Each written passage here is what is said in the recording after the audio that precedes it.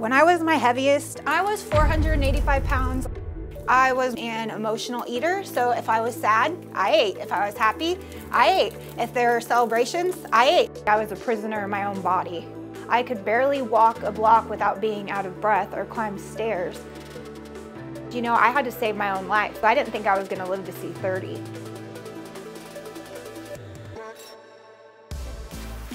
I've lost 312 pounds.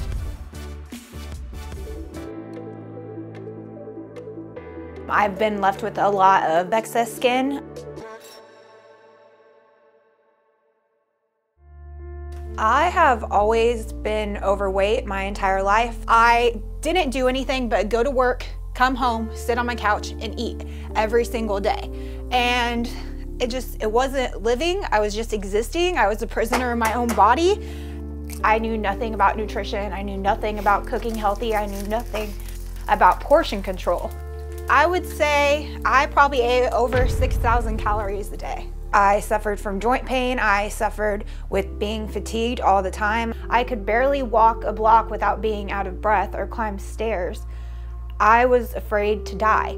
I think um, between me and Lexi, uh, we just overindulged on food. Um, we would order a large stuffed crust pizza, breadsticks, wings. Uh, wings um, Mountain Dew. Mountain Dew, and just binge watch Netflix and just overeat. My wedding day should have been the best day, but people definitely mistreated me at the stores as soon as I walked in. They gave me looks just because of my size. Almost like I wasn't worthy of getting married just because I was overweight. I wasn't living, I was just existing. So after all those moments added up, I was just fed up and then I set a New Year's resolution January 1st, 2016, and that's when it all changed. I had to save my own life because I didn't think I was gonna live to see 30, and now I'll be 30 next year. At my heaviest, I weighed 485 pounds, and then at my lowest, I weighed 173 pounds. I usually go to the gym about six times a week. And I try to mix it up so I don't get burnout and quit. My husband actually joined me on my weight loss journey and I also started documenting my journey on Instagram. I never expected to have a following. I just wanted to help one person. So to be able to help 1.2 million plus Danny being able to help, it's plus crazy. doing it together, it's really cool. We do so much more stuff together now. We're not just sitting on the couch, not talking. We're out walking, running, biking. We are active. We lost 407 pounds together. So these are my 485 pound clothes and I am now half of that. And to look at these clothes, it's just a reminder of how far I came and the path that I was at one point heading down. I had a lot of excess skin. I knew it was gonna happen going into my weight loss journey. I have had one loose skin removal surgery, but I do want to have two additional. Um, I've been left with a lot of battle wounds, which is okay after losing all my weight.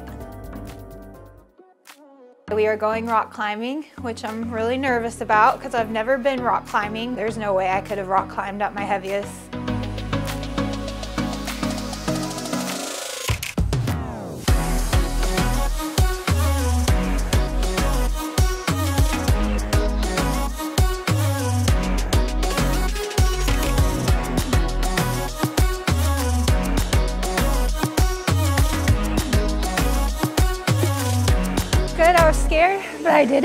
because you got to keep trying. That's all that matters. I think that ultimately it's good to find somebody who supports you no matter where you're at in your journey. Um, surround yourself with positive people. Start small and small changes will add up to big results. And just never give up because you only fail if you quit trying.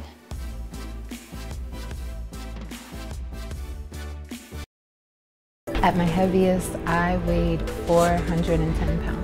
There were a lot of bullies growing up and I just felt completely alone. A suicide attempt literally changed my life. Automatic switch.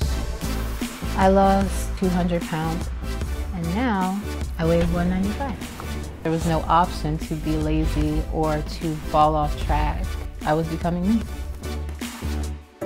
Now the amount of skin that I have is just debilitating. I really wanted to see the body that I had been working for for so long. The only way I was gonna do that was through having skin removal surgery. There were a lot of bullies growing up, but I almost built a shield against them.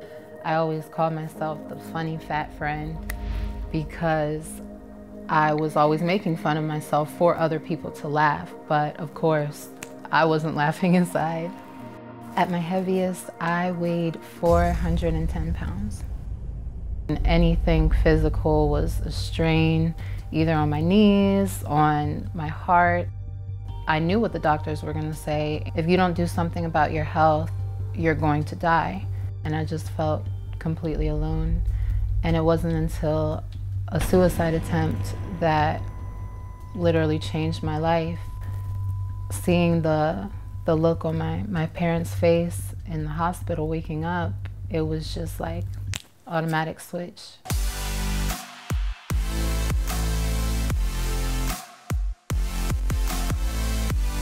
I lost 200 pounds and now I weigh 195. When I started my weight loss, I really hated going to the gym. After noticing I'm getting better, I'm getting stronger, everything that I'm doing is actually, I'm seeing results from doing it. It just, it's more like a, a challenge to myself now, so I enjoy it. This day, I remember so vividly. That's when I started my journey, when I decided this is my first day I'm going to go to the gym. And it was the hardest day of my life. The very hardest part about my weight loss journey has been accepting my body throughout the entire thing. Just like most people's reactions, I can't, it's hard to believe that I was actually that person. But at the same time, um, sometimes when I wake up, when I look in the mirror, I still I still see that same person. It's like my my mind hasn't caught up to my body yet. After losing the weight, now the amount of skin that I have is just very debilitating mentally. My skin is a reminder of the weight that I used to carry, and it just feels like baggage. I bought this dress maybe three years ago and I said once I lost my weight I was gonna wear it. But after I put it on I just don't feel comfortable in it yet. So. This point in my journey I look at myself as the butterfly that's stuck in the cocoon. Once I have my skin removed and once I can finally feel like I have the body that I've worked so hard for, I feel like I'll be the butterfly. I really wanted to see the body that I had been working for for so long and I knew at a point that the only way I was going to do that was through having skin removal surgery. It has taken so much out of me physically and mentally to get where I am today. So I'm just, I'm so proud of myself.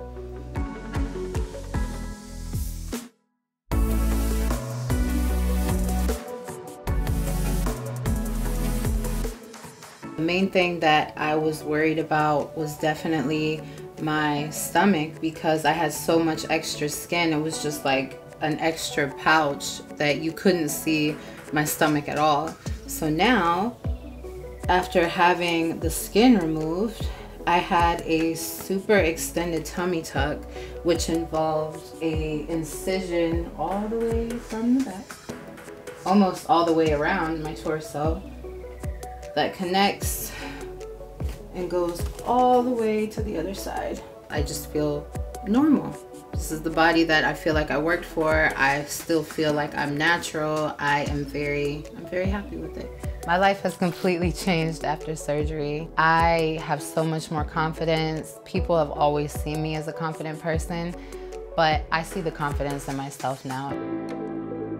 I have not tried this dress on since I've had surgery, so I'm so excited to see what it looks like. I'm a little nervous. Hopefully I feel comfortable enough. So starting out as the caterpillar in the very beginning of my journey, moving to the cocoon and finally breaking free, I feel like I'm finally the butterfly. I am finally summer.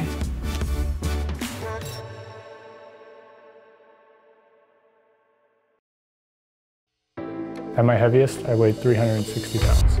At my biggest, I avoided not only mirrors, but just like reflective surfaces in general. When you're a big guy, you don't have very many friends. As I was losing the weight, I was gaining more confidence naturally, started to care about the way I looked. It's taken me about two years to lose 160 pounds. I started to be able to talk to people, and that's Whoa. like What? that's like a year's difference. Oh my gosh.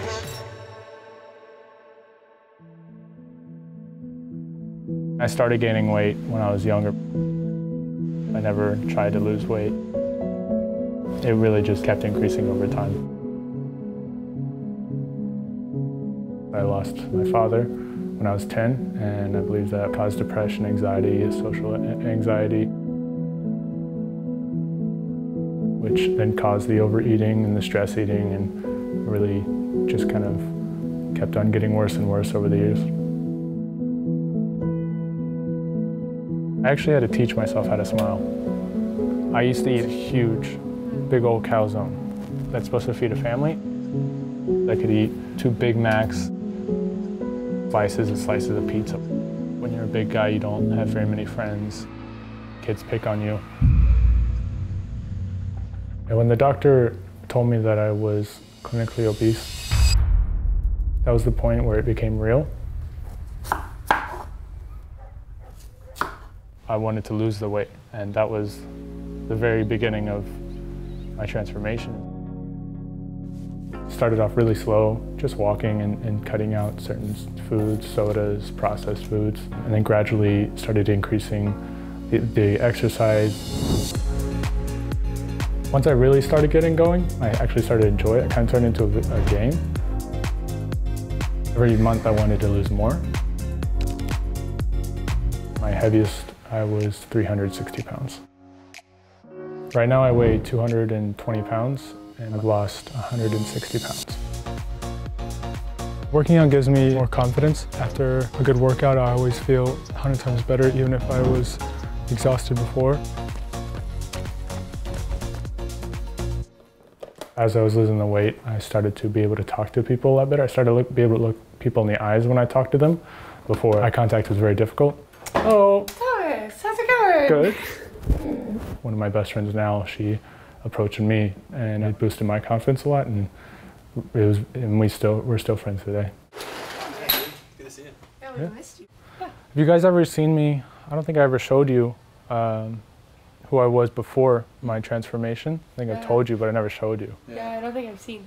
No. Uh-uh. For my first 16 years, I never looked in the mirror, never looked at photos, and that's like Whoa. What? that's like a year's difference. Oh my god. So gosh. 13? If, yeah. But I look at like, especially a lot of these photos, like these right here, Yeah. I don't remember taking these photos at all hmm. because I never wanted to see what it looked like. Had you ever tried to lose weight before this? Like before you made the big transformation? I never knew how big I was actually.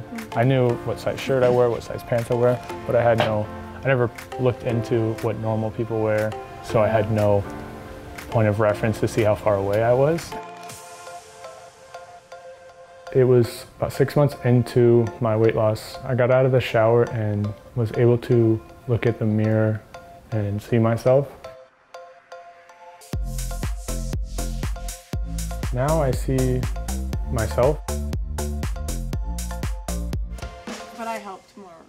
I was really surprised seeing Thomas's photos. We talked about it and heard the story, um, but never seen it, and I think that made it a little bit more real because to hear about it is one thing, but to actually see what he was talking about, totally different than I imagined. It was hard to put in my brain knowing the Thomas we know now. I believe I'm in the best state that I've ever been. I have a lot more confidence than I've ever had. Really good to see you. Thanks for showing us the pictures. Yeah. Thomas, Yeah. is, yeah, we love you, man. I still have days where I don't feel my best, just to keep moving on and keep on doing what I'm doing, and eventually I'll get to where I want to be. So however that looks on the scale is not really what I care about.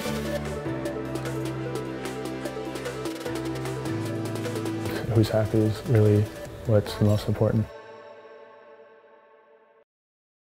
My beginning weight was 430 pounds. My weight has always been a constant battle. I got heavier and heavier and just never stopped. And I was like, that's it. I haven't make a change. I've lost 188 pounds and currently weigh 244. With having lost 188 pounds, it has left me with a large amount of excess skin. Having all of this excess skin really affects my entire day-to-day -day life. I don't feel as good as I should about myself, so I'm hoping with this upcoming surgery, it'll help me realize and believe in myself what I've done. How are you feeling? Feeling awesome, excited, and ready. So we will see you um, after her surgery.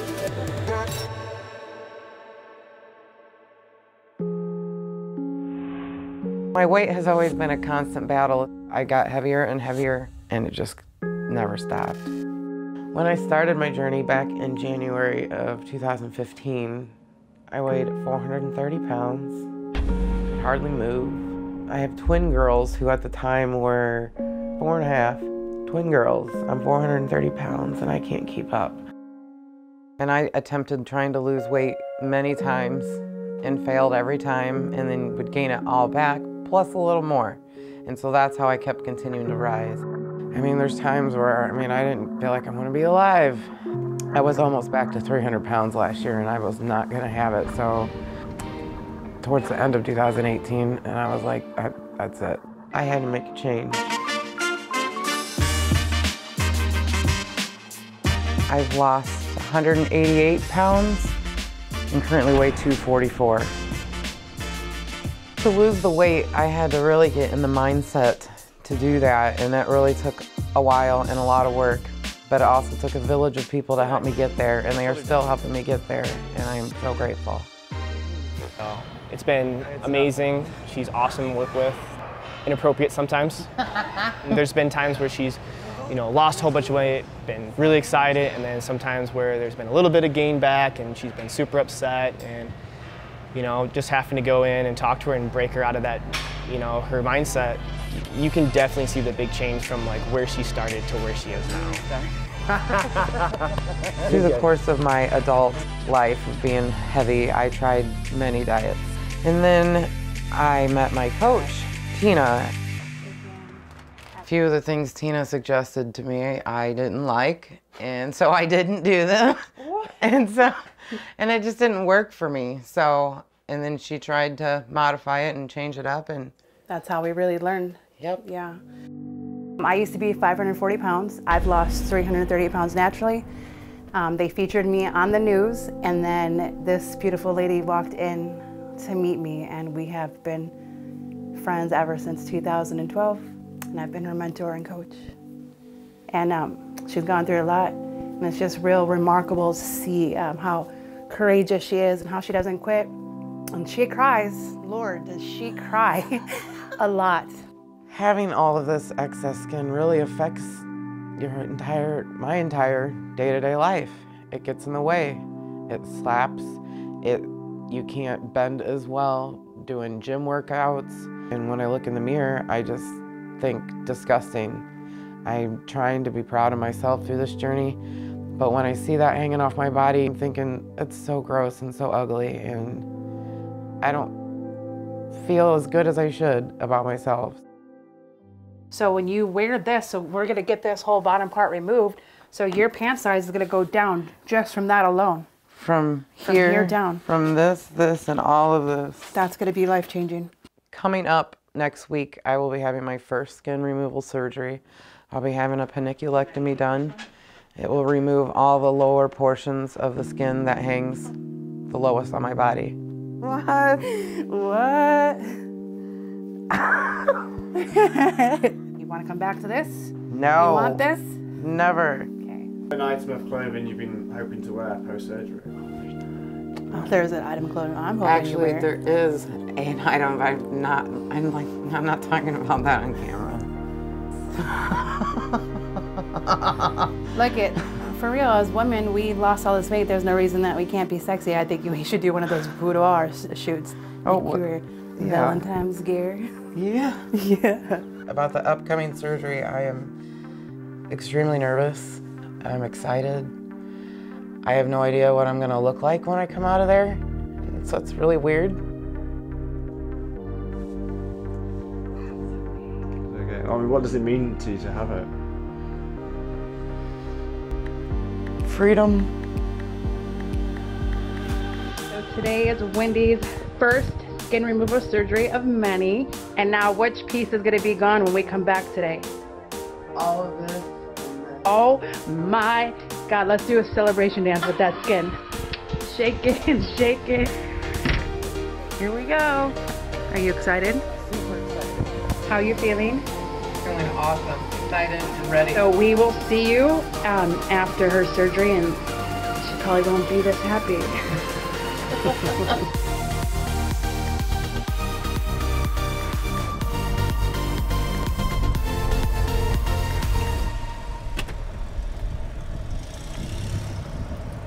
almost every time I come to the gym, we do another exercise where it just blows my mind and literally brings me to tears when I do an exercise that I wouldn't have been able to do before. It's extremely emotional. I used to not be able to hold a plank for a minute because the extra weight pulling down on me, but now I can do almost four and a half minute plank. And that was just one of those small victory, quote unquote, things that are huge. Like that's a big deal. All that pain was worth it for just that moment. Even. I mean, standing in front of the mirror, seeing what it looked like for the first time is just mind blowing. I, I really can't describe it because before I was 450 pounds and saw nothing, and now at 215 pounds, I can see everything. It's life changing. The willpower to be able to do this, you gotta want it in your heart. It is not gonna happen if you don't.